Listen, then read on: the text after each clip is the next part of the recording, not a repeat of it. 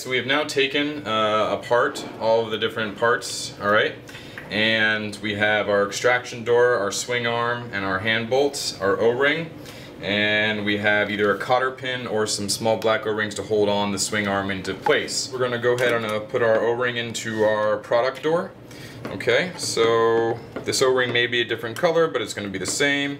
And you might, when you're first doing it, find that, oh, it's a little bit bigger than I think it should be, and that's normal. You're going to be pushing it in as you go down, and it's going to fully fill the space. So we have everything in place, we have our door, and we are going to take some lubricant and just a light bead all the way around.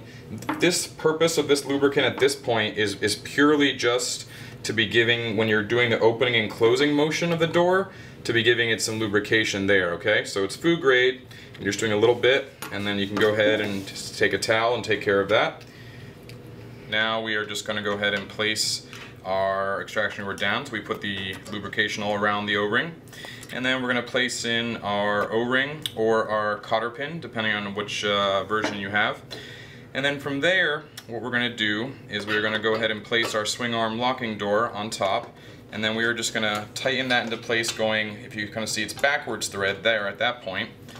And then we're going to go get and get our hand screw to tighten there. And then from there, we are good to go. We have it assembled. Now what some operators will do as well, depending on what they're making a lot of product, is that they will take and they will actually add a little more lubricant to this area. It's, it's up completely up to you and what you'd like to do. If you're making a lot and opening and closing it frequently, it might be a good idea. And then you can kind of get that and move that back and forth, and that's going to allow you to continue to open your swing arm or your product door. So at this point, we're going to close the top of our hopper, bring our door up, and swing it around.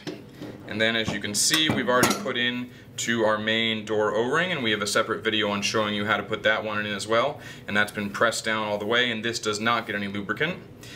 Uh, our white bearing is going to have been already been slid in as you can see right here that usually just stays in there um, and there's no need to add lubricant to that and then you, we have hand screws here, which we've tightened, and they have put in place the hopper door. So these hand screws here just come out and in, and so you can take that on and off during washing, and there you are. And then some of our models will also have a secondary gate and door here, which we will send you a different video to go through.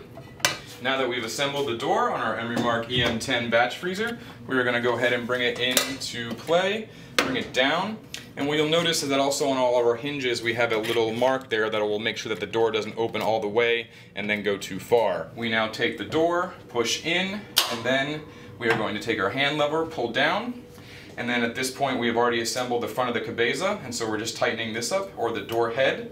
And now we're going to go ahead and we're going to put sanitizer in before we do a run. So we'll see in a bit.